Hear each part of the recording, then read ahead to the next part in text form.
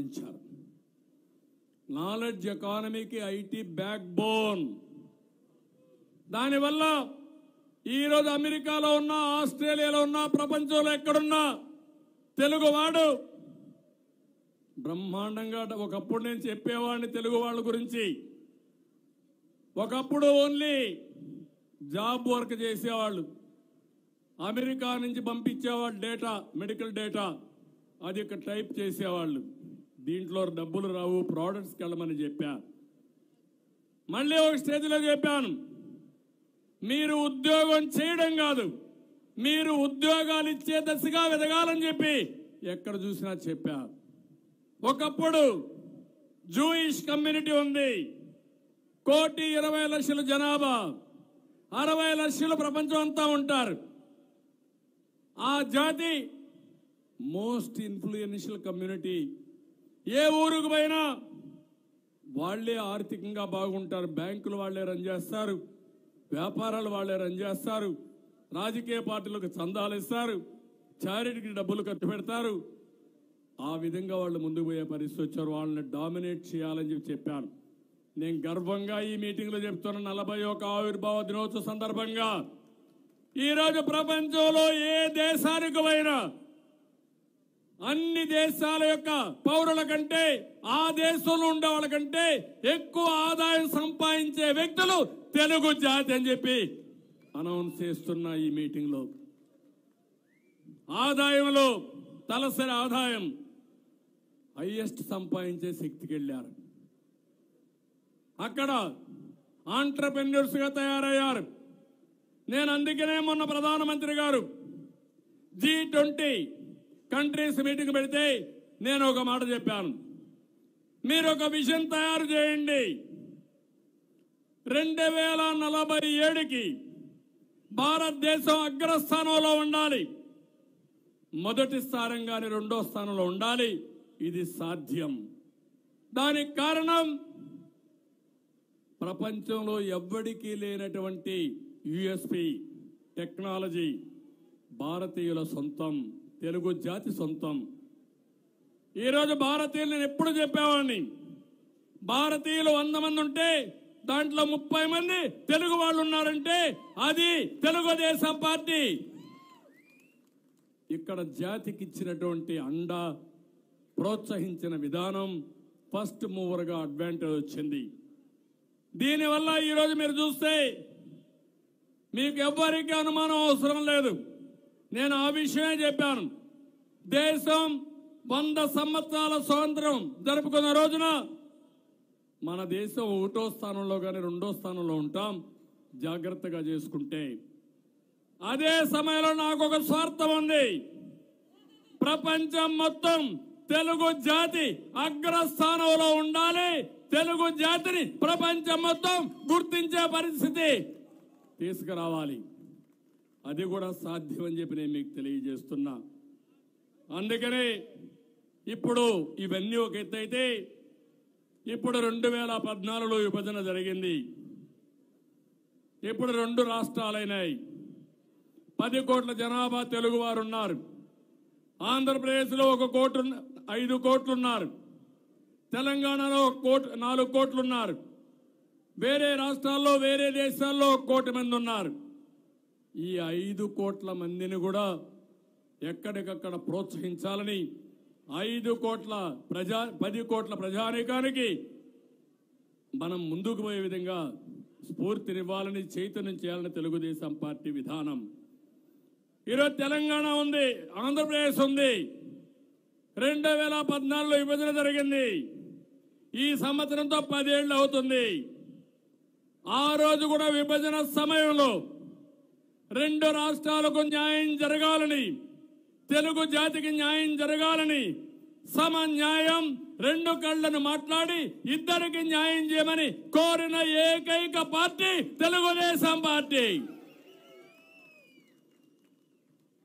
ఈరోజు కూడా తెలుగు వారు ఎక్కడున్నా అక్కడుండి ఇప్పుడు ఎందుకంటే ఒక తల్లికి పుట్టిన ఒక తండ్రికి ఒక తల్లికి పుట్టిన నలుగురు పిల్లలుంటే నలుగురు సమానంగా ఉండరు.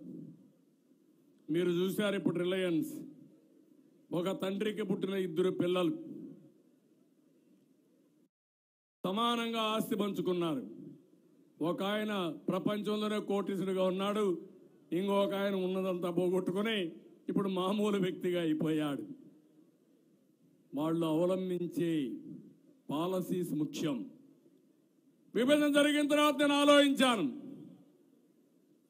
తెలుగు జాతి కోసం ఆ రోజు మనం కార్యక్రమాలు చేశాం. ఆ ఫలితాలు ఈరోజు తెలంగాణ ప్రజానీకానికి వచ్చాయి. కానీ ఇక్కడ మనస్ఫూర్తిగా అందరినీ అభినందిస్తున్నా. నేను ఆ రోజు హైటెక్ సిటీ కడితే తర్వాత వచ్చిన Rajasekhara Reddy hitech city building కూల్చేసి ఉంటే ఏం తమ్ముళ్ళు హైదరాబాద్ ఏమయ్యేది అభివృద్ధి అయ్యేదా? ఆయనే కాదు. నేను ఆ రోజు అవుటర్ రింగ్ రోడ్ వేసి నాకు పేరు వస్తుంది కాబట్టి అవుటర్ రింగ్ రోడ్ వద్దని క్యాన్సిల్ చేసుంటే హైదరాబాదుకు ఈ యొక్క వైభవం వచ్చేదాన్ని మిమ్మల్ని అడుగుతున్నా. నేను జనాం వ్యాలీ ఏర్పాటు చేస్తే జనాం వ్యాలీ వల్ల నాకు లాభం వస్తుందనుకొని స్టాప్ చేసుంటే ఈరోజు కోవిడ్కు వ్యాక్సిన్ ఇచ్చేవాళ్ళవా తమ్ముళ్ళు? ప్రపంచం గర్వపడే విధంగా జరిగేదా అని మిమ్మల్ని అడుగుతున్నా. అందుకే తర్వాత వచ్చిన ముఖ్యమంత్రులందరినీ ఒకరిద్దరు కాదు ఇప్పుడు నలుగురు వచ్చారు. ఇటీవల కేసీఆర్తో సహా అందరినీ మనస్ఫూర్తిగా అభినందిస్తున్న ఈ తెలంగాణ అభివృద్ధిని కొనసాగించారు నిరంతరం ముందుకు తీసుకుపోయారు. మీరు చేసిన పనికి చాలా సంతోషం కడాన రోసే లాంటి వ్యక్తి మెట్రోని మళ్ళా లైన్లో పెట్టాడు. నేను ఇచ్చినప్పుడు మెట్రో ఇస్తే దాన్ని రాజశేఖర్ రెడ్డి చెడగొడితే మళ్ళా రోసే వచ్చి మళ్ళా టెండర్లు పిలిచాడు. అది సెట్ చేశారు. దీనికి గర్వం. ఆనందపడుతున్నా నేను ఎయిర్పోర్ట్కు పోతే శంషాబాద్లో నా పేరు గుర్తుండకపోవచ్చు. అవుటర్ రింగ్ రోడ్డు పైన వస్తే నేను వేశానని ఎవరు చెప్పకపోవచ్చు మీకు కూడా తెలియకపోవచ్చు. తెలుగుదేశం పార్టీ చేసింది అనుకోకపోవచ్చు. కానీ నాకు ఒక ఆత్మ ఉంది మనస్సు ఉంది నా మనస్సాక్షిగా పనిచేసా. ఆ తృప్తి నాకు ఎప్పుడూ ఉంటుందని చెప్పి మీ అందరికీ తెలియజేస్తున్నా. ఈరోజు ఓట్లు పడకపోవచ్చు. నేను ఓట్ల కోసం పనిచేయలే. జాతి కోసం పనిచేశా నేను. ప్రజల కోసం పనిచేశా నేను. నన్ను మర్చిపోయినా. ఆ రోజు మనం చేసిన ఫలితాలను అనుభవిస్తే అదే చాలు అనుకొని వర్క్ చేసాం తప్ప ఎక్కడ కూడా ఏదో పేరు కోసమో ఓట్ల కోసమో లేకుంటే డబ్బుల కోసం ఎక్కడా పని చేయలేదని చెప్పి నేను మీకు తెలియజేస్తున్నా. చాలామంది పిల్లలు ఉన్నారు ఇంజనీరింగ్ చదువుకొని బాగా డబ్బులు సంపాదిస్తున్నారు. మీ ఇంజనీరింగ్ కాలేజీలు రావడానికి నేనే సంఖ్యలో ఫైల్స్ తీసుకొని ఢిల్లీ చుట్టూరు తిరిగి అవన్నీ తెప్పించాను ఐటీ రావాలంటే కొన్ని మంచి కంపెనీలు రావాలని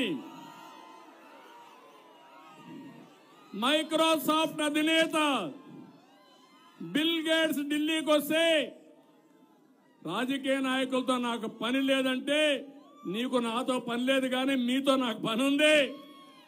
నాకు ఒక పదహైదు నిమిషాలు టైం ఇమ్మంటే గ్రేట్ డిఫికల్టీతో పదహైదు నిమిషాలు టైం ఇస్తే నాలుగైదు రోజులుగా కూర్చొని ఆయన్ని ఎట్లా మెప్పించాలని ఒక ప్రజెంటేషన్ తయారు చేసి నేనే ఆ ప్రజెంటేషన్ ఇస్తే నేను కూడా మైక్రోసాఫ్ట్ పెట్టాను కానీ నేను ఎక్కడా ఇలాంటి ప్రజెంటేషన్ చూడలేదు. నేను పూర్తిగా నీతో ఏకీభవిస్తున్నానని చెప్పి కడాన మైక్రోసాఫ్ట్ హైదరాబాద్ తీసుకొచ్చారంటే దేనికోసం తీసుకొచ్చారని అడుగుతున్నా మిమ్మల్ని అందరినీ. ఊరికే రాలా. అక్కడి నుంచి నేను సియాటిల్కి వెళ్ళాను. దావోస్కి వెళ్ళాను. పది సార్లు అడిగాను. కడాన్ అనుకున్నాడు బిల్ గేట్స్. ఈయనకి ఇవ్వకపోతే ఇంక నన్ను వదిలిపెట్టడని కడాన మైక్రోసాఫ్ట్ డెవలప్మెంట్ సెంటర్ అనౌన్స్ చేశాడు. మొన్న మీరు చూశారు ఐఎస్బి ఆ ఐఎస్బి అయితే నాలుగు రాష్ట్రాలు పోటీ పడితే ఆ పోటీలో తెచ్చామంటే అది నాకు తృప్తి అని చెప్పి నేను మీకు తెలియజేస్తున్న దానికోసం ఇంటికి పిలిచి అందరినీ నేనే ప్లేట్లు అందించాను బ్రేక్ఫాస్ట్కి. నేనే బట్లర్గా సర్వ్ చేశాను అందరికీ. గర్వంగా చేశాను. ఎందుకు చేశానంటే ప్రతి ఒక్క వ్యక్తి ఆలోచిస్తాడు. మనిషికి కావాల్సింది అతను తృప్తి పొంద- పొందితే ఆటోమేటిక్గా మన పని అవుతుంది. అందుకే కారు దిగంగానే ఎయిర్పోర్ట్ ఒక నలుగురు మంత్రులు పంపించా ఐదు మందిని పంపించా. గార్లెండ్ చేసుకొని ప్రత్యేకమైన వెహికల్లో ఇంటికి తీసుకురమ్మన్నా. ఇంటికి వచ్చారు నేను నేరుగా రోడ్డు మీదకి వెళ్ళి అక్కడి నుంచి వాళ్ళందరికీ పూలమాలు లేసి శాలువాలు కప్పి అందరిని లోపల తీసుకొచ్చి బ్రేక్ఫాస్ట్ పెట్టి ఒక బ్రహ్మాండమైన ప్రజెంటేషన్ ఇచ్చి మీకు ఏం కావాలన్నా ఇస్తానని చెప్పి వేరే రాష్ట్రాలకు పోతే అడిగారు వాళ్ళు నన్ను ఒక మాట అడిగారు. మీరు ఏమి ఇస్తారని అడిగారు. నేను ఏమి చెప్పను. మీరు నాలుగు రాష్ట్రాలకు వెళ్ళండి. వాళ్ళు ఏమి ఇస్తారో వినండి. ప్లస్ వన్ మార్క్ చేసి మీరు పంపేయండి. నేను చేసి పెడతానని చెప్పాడు ఏం తమ్ముళ్ళు నా కోసరం చేశారు ఇవన్నీ?